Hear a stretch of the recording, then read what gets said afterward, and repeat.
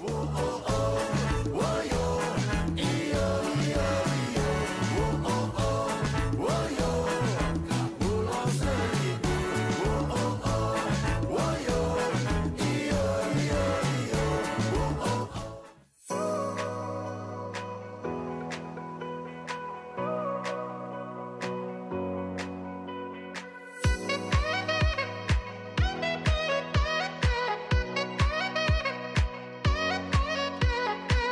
Tim Penggerak Pemberdayaan Kesejahteraan Keluarga Kabupaten Kepulauan Seribu melakukan panen daun kelor di Pulau Karya, Kelurahan Pulau Panggang, Kecamatan Kepulauan Seribu Utara.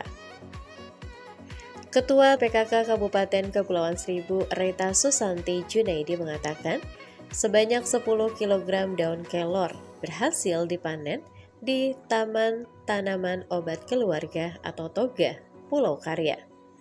Senin 10 Januari 2022.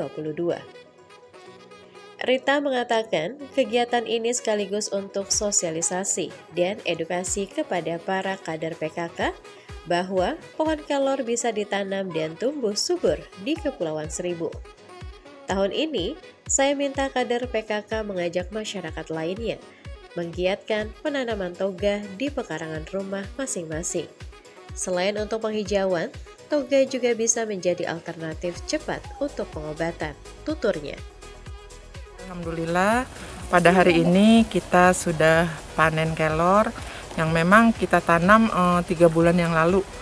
Alhamdulillah bisa tumbuh di sini eh, kelor ini karena sangat bermanfaat untuk apa namanya dikonsumsi dari segi obat, dari segi gizinya juga ada di sini. Jadi alhamdulillah ternyata kelor itu bisa tumbuh di Kepulauan Seribu. Uh, kalau untuk di pemukiman masyarakat yang punya yang punya manfaatan tanah pekarangan, maksud saya yang punya pekarangan itu agar uh, membuat tanaman hidroponik. Karena itu untuk memenuhi uh, keluarga ya kebutuhan akan sayuran. Hmm. Tapi kemarin juga kita sudah menanamkan ini bersosialisasi bahwa setiap rumah minimal punya tanaman kelor. Kalau untuk di Pulau Karya ini hanya sebagai contoh, selebihnya di masyarakat e, harus menanam minimal ada satu atau dua pohon kelor. Bahwa di setiap rumah menanam tanaman toga. Tanaman toga itu manfaatnya untuk e, apa namanya obat keluarga seperti kunyit, kencur, uh, jahe itu juga harus ditanam di setiap rumah minimal uh, tiga, tiga jenis tanaman harus ada di rumah masing-masing di rumah warga sehingga apabila anak panas atau masuk angin bisa uh, melalui tanaman itu dimanfaatkan.